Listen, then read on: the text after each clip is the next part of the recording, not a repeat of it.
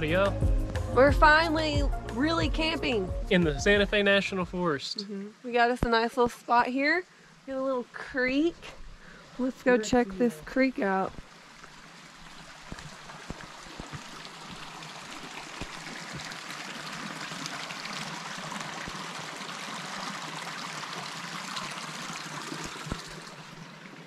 Our little setup is so cute. I love it.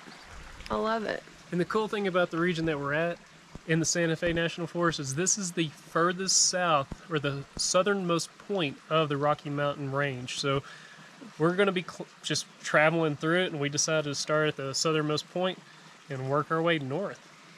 So like we said, if you watched our last um, video, we're kind of exhausted. We woke up one morning just not feeling good, kind of like bleh, vomity a little bit. Nobody threw up though. I think we've just been blowing and going too much. So we were happy to come out here. We're gonna post up here for three or four days. We don't even know. Problem is we don't have any phone service here, but if we go down the road a little ways, we had some. There were camp spots over there too, but they were all taken. A lot of day users fishing and stuff because this creek gets really big. The plan is we're just gonna hang out and we're gonna relax and we're gonna rest.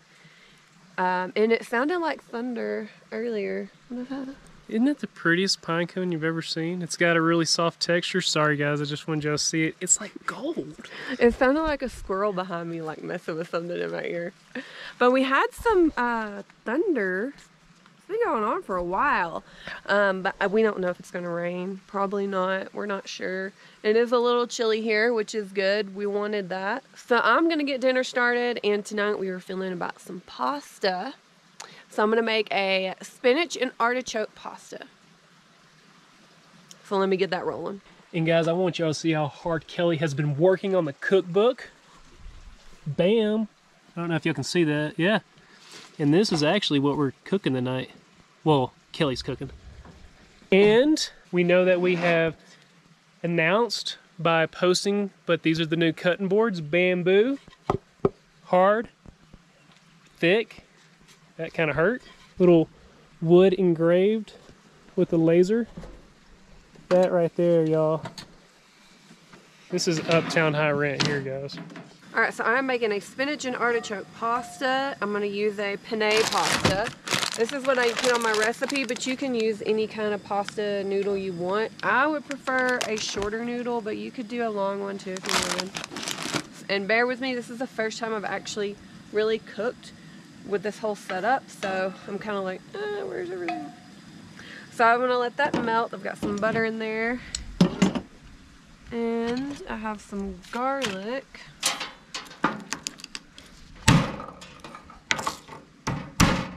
First thing I'm gonna do is press my garlic in here.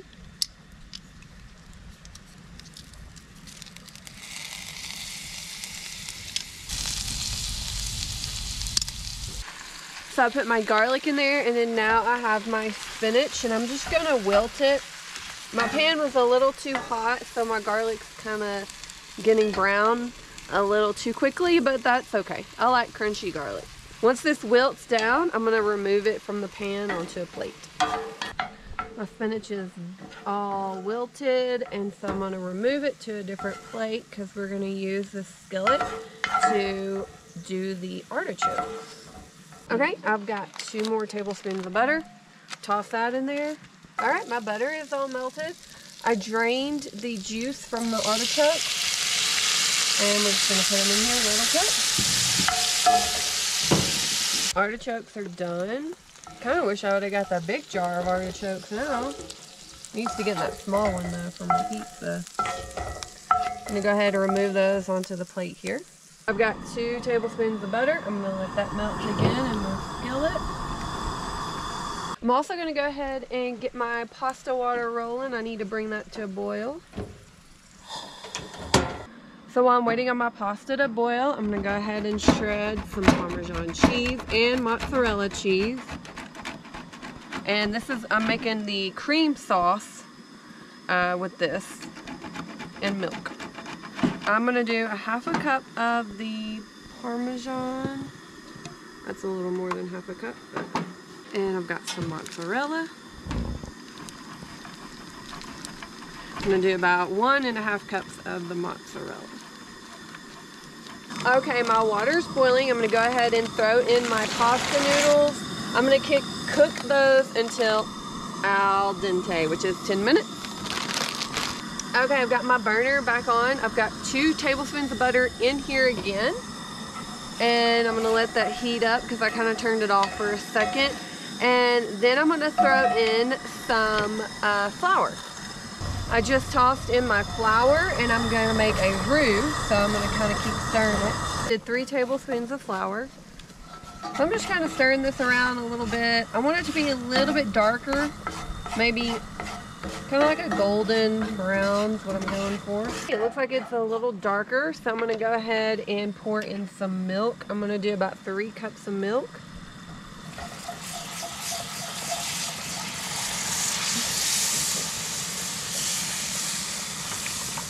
And I'm gonna let that stir around just a minute and then I'm gonna pour in my cheese that I shredded earlier. So when I said I was gonna make a roux, anytime I make a roux for a sauce, what it does is it helps to thicken it up and it also helps to bring out the flavor if you're using butter or bacon grease.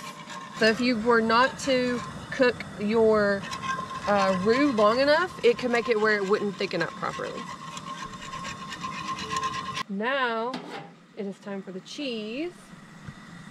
Looks like a lot of cheese.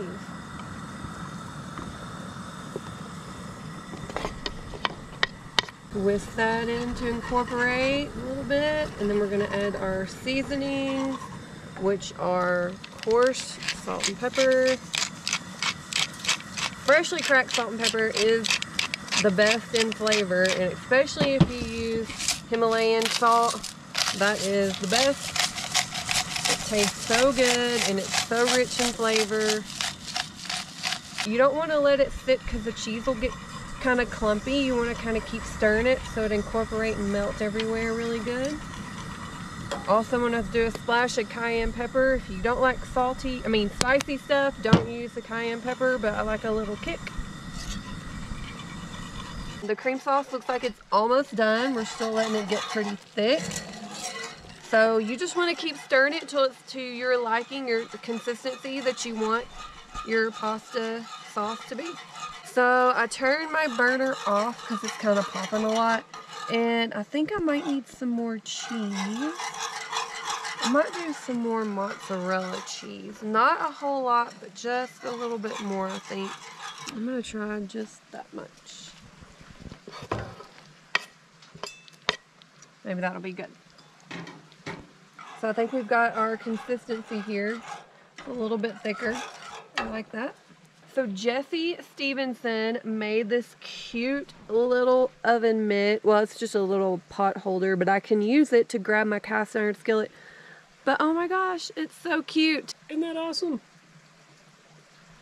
Thank you, Jesse. That was so sweet.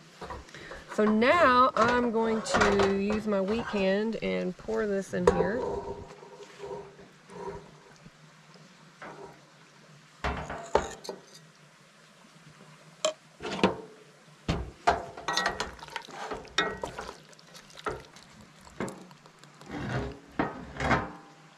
We've got our spinach and our artichokes. That's gonna go in. All right, it is time to eat. Man, it looks good, Kellie. It smells so good. And we get to put more little cayenne pepper in Yes, so we're gonna put when we after I plate it, we're gonna put some crushed red pepper and some breadcrumbs if you like. Or if you just have bread, you just use bread, I guess. So I didn't end up using all my sauce.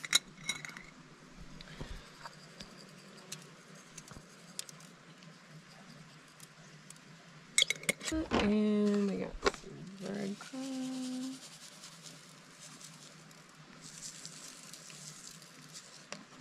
Man, that just looks so fancy, Kellie. All right, we're ready to eat. Yeah, I'm starving.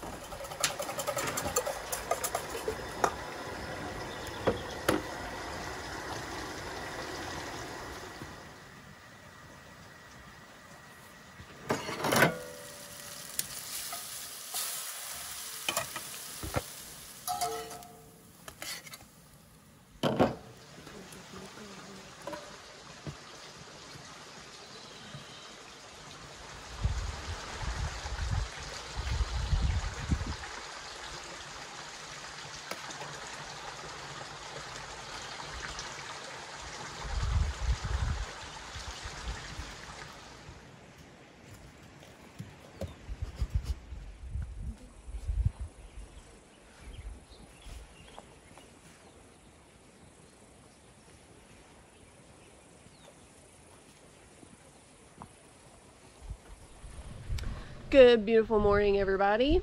We slept in till like, it was like 9 o'clock when we woke up. Felt really good. But we just finished breakfast. And we have been bombarded by five.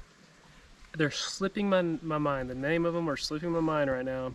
It's but like, they're like chipmunks. it's like a cross between a squirrel and a chipmunk. yeah. If you know he what is on the, the they are, put them in the comments below. Probably can't see it. He's on our tire right now. So we popped the hood just because we're both worried they're going to try to build a nest in there. We've had that happen one time, a long time ago. They Uh, shoot through our blinker. Yeah, they chewed through the wires on the blinker and they built a nest. So we're just going to keep it open. That's what we're going to start doing now more often. We saw someone doing that in Tucson, and I Everybody did it. In we were in a campground in Tucson and everybody had their hood open because during the day it gets in the 70s, but then at night it gets down into like sometimes the 30s, which I don't think it got- that cold here last night. No. So they might not build a nest. So if you don't know, even if your hood is shut, these little critters can get in through underneath the vehicle because it's not all sealed off and they can build nest in there. So if you've been driving around all day and you pull up to camp and it's cold outside, well your engine is going to stay hot. So they're seeking something warm. They're going to go in there and build a nest. If you open the hood, it'll ask for the engine A to cool off quicker and B It prevents them from having Per- shelter over their head, and then Exactly. they're less likely to build a nest. Yeah, so it would be just like them going out into a bush and building a nest. But man, so. we're having to close everything because yeah, we closed all the doors on the trailer because we didn't want them getting in there because they've just been hopping around. I mean they've been getting close. Like they've been getting maybe a foot away from us. And I'm you know us- whoever's camp people camped here in the past has probably fed them. But you know us, we always keep all of our doors open, and we don't have any of them open right now. Just the hood. because they got ups, guys. Oh, he's out. He's gone. Okay. Okay, good. Um, and he's coming back towards us. There he goes. It just popped over. Okay. We're getting freaked out. Uh, There he goes. They're fast. But when we got here yesterday, it was cloud cover, and this part of um Santa Fe, because it's coming up, uh, the moisture comes up from the valley of the Rio Grande, and it hits here, and it uh, produces a lot of rain, a lot of rain clouds. So it rains constantly up here. So we were expecting some rain. I'm just really digging this right now. This is It's so pretty. I'm sure y'all saw it yesterday, but that view, just something else. And so that road keeps going. It keeps going. There's supposedly more campsites down there. Maybe maybe we'll get bored and we'll go take a drive and check it out. I don't know. You never know. Yeah, because this is a dead end. From where we started, this is a dead end. This is called Cow Creek, Cow Creek? C O W Creek. Yeah. That's what we're on. And we're at a very small spur of the creek. We passed some other campsites that way, and the creek was really pretty and big. It was really nice And looking. then But if they you were taken. down to the very bottom, it feeds what's the river? It was, I mean, it was a huge raging river, and it was blue. I mean, clear water. It was so pretty, but it was all private, private That was all all private it. property. We're just chilling. haven't done this in a long No. time, man. No, we haven't.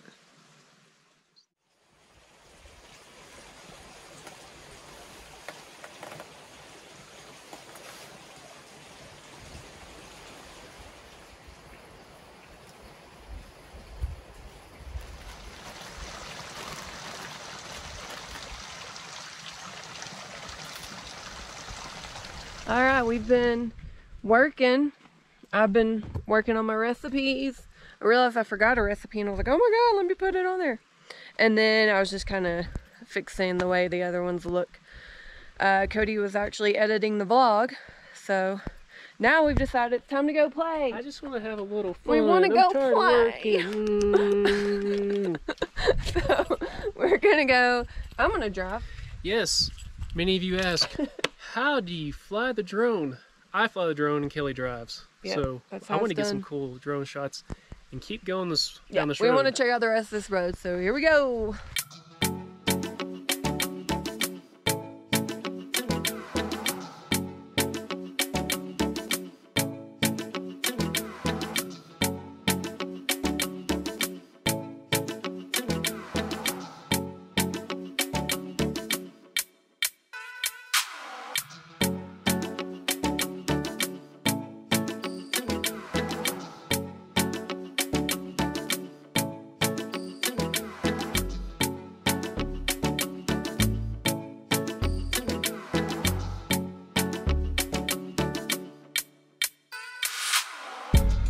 The end of this road here with this private sign.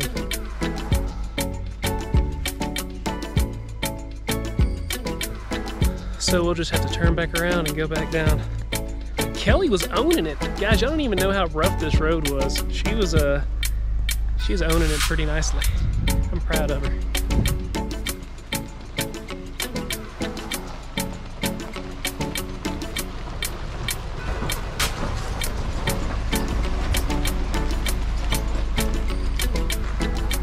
Kellie knows how to handle a little roughness. Picking up Miss Daisy. You can drive on, Miss Kellie.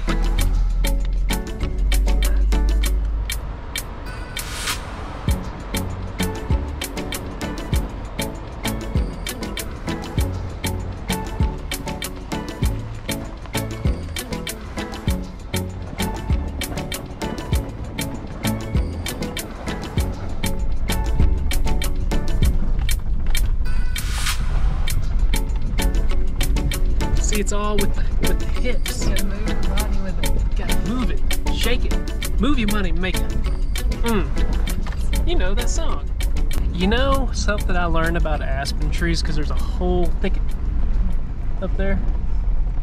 Is that aspen trees are all connected to the same root system. Like all these are here. Yes, like all these right here. I could be wrong. I could be wrong. But I really think that's a fact. I think I remember reading that. I thought that was pretty cool.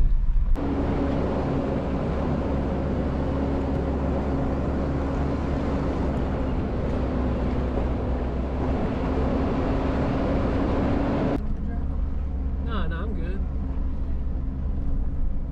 Oh, it's really cool. Wow.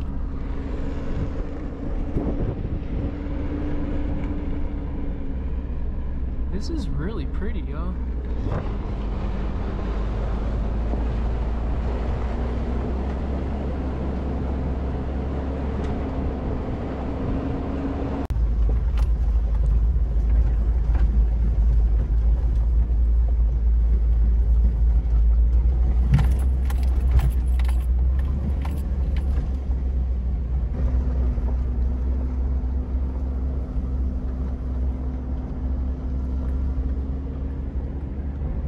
You're owning this, babe.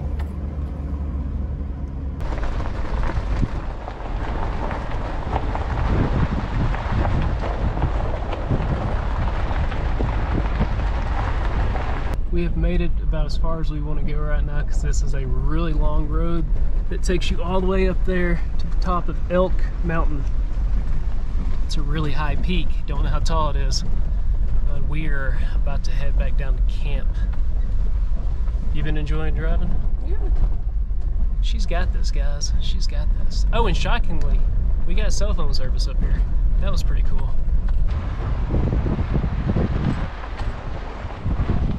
Well, trying to figure out how to park. looks like all our stuff is still here. Of course, we haven't heard another vehicle or anything come by in a long, long, long, long, long time. I'm proud of Kellie. You did good driving, girl.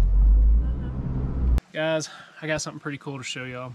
About six, seven months ago, we received this filter system from Survivor Filter and we installed it in the house. But we took it with us and we made little attachment here so that I can hook it directly up to, well, hold on, yeah, here and filter the water out of the tank. So I can just, bam, and then this here is an on-off valve. So I can just take the water, pop it in there, and there it goes. Now, for me not to waste any water, what I've learned is I'll actually go back around with these hoses and put the water that's left in these hoses back in the tank because it actually holds a lot of water in these lines. So I started doing that recently to save water. You know this is handier than pockets on a shirt, right? And this is very, very good filtered water. I'm talking about it is the best water I've ever had in my entire life. It makes me want to drink water. I so mean, what is it like? It takes out fluoride and it pretty much takes Yeah. out everything. So it's very pure. But it is Survivor filter, and that is our pump that we use when we go um, kayak camping. Oh, the yeah. little water, little water filtration system that we carry with us. It's the same company. So they sent us this, and we are very happy with it. It is the only water that we drink, so we love it. well, no, we drink whatever we can get our hands on, but this is our favorite. Yeah, I mean, if I had the option, this is what I would drink. But all right, so now I'm gonna get dinner started, and I'm making an olive loaf bread. I've made it before. If When you watch burnt the chicken. the burnt chicken, Meteor chicken. the meteor chicken, Yeah. if you go back and you watch that vlog. Uh, that was our appetizer, but it was so good and it was so much food that we're gonna actually eat it as our meal. So it's kind of like a pizza. It's got all kind of olives on it, cheese. It's very delicious.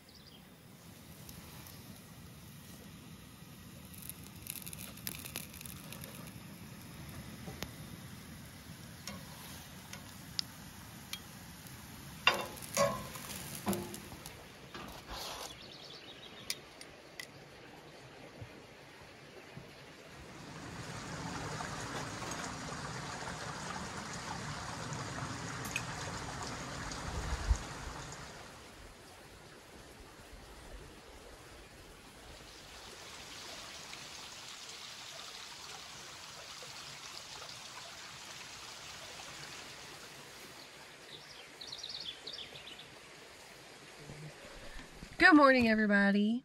Good morning. Today, the plan is to drive back up to the top of that mountain. Uh, we know we have phone service, and we're going to try to upload our first video out here. All right, so let's get on up there and let's see if we can get any uploads going. It looks like I didn't kill that little booger. Yeah, we wanted to check and make sure they weren't in the engine before we drove off, so we're all good. The slightest little noise, little noise drives him nuts, and so we had to stop. He's back there trying to figure it out. I, I see it. I see it. This is the second time we've stopped, mind you. Okay. yep. We'll just have to listen to it and I'll fix it later. I think we had it flipped the other way, I impossible. think so. we have made it up to the top of not the top of the mountain, but we were back where we were yesterday because we have phone service, like Kellie was saying. Once again, guys, look how cool this looks. Look at this.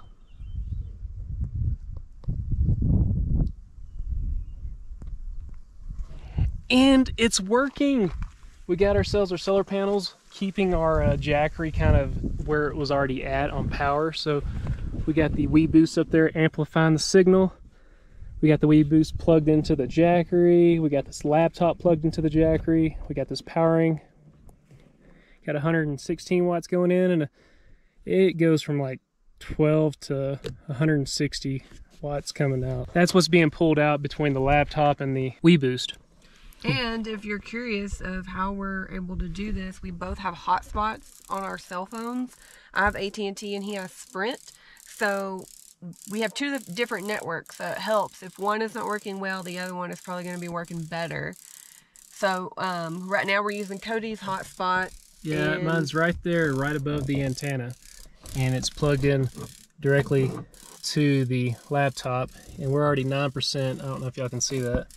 But we're already nine percent uploaded. What? This is so cool. Because when we were at that uh, Airbnb in Longview, Texas, it, I think I spent two hours trying to get one percent uploaded, and we've been up here for Not long at all. five or maybe 10 minutes Maybe and we're 10 already up to 9% uploaded. That's, That's pretty awesome. cool. It is a short video though. It is. However i think we're going to just hang out up here for the rest of the day. No for about an hour and a half. At least till it's uploaded, and I've got to research where we're going next on my phone and where we're camping. But I guess we'll just see you guys on the next one. yeah and when we figure it out where we're going you're going to know where we're going and we'll catch you on the other